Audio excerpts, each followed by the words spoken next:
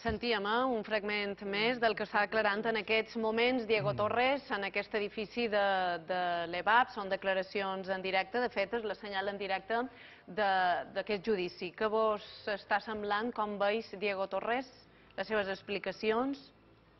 Que heu trobat, David? Es un tono combativo, José ¿no? Se puede decir. Sí? Un tono trobes més que combatiu que no avui se de le ve matí? un hombre compungido realmente, ¿no? Un tipo que está declarando de una manera absolutamente convencido de, de lo que dice. Otra cosa es- convincent? He dicho convencido. lo, he, lo he querido dejar bien claro. He dicho convencido. Convincente, ya, Ya lo dirán. ya veremos. Ya Yo le veo un cambio respecto a esta mañana. ¿eh? Esta sí. mañana ¿Sí? parece que, que buscaba ser eh, más efectista que efectivo y sin embargo esta tarde ya está abordando realmente cuestiones que, que- que sí tienen que ver con el caso.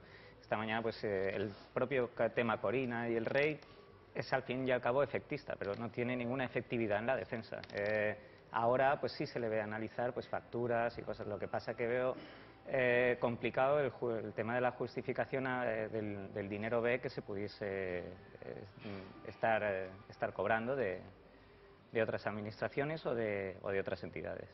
Isabel, Pens que realment és vera que ara està donant unes contestacions molt més contundents que les d'avui de matí.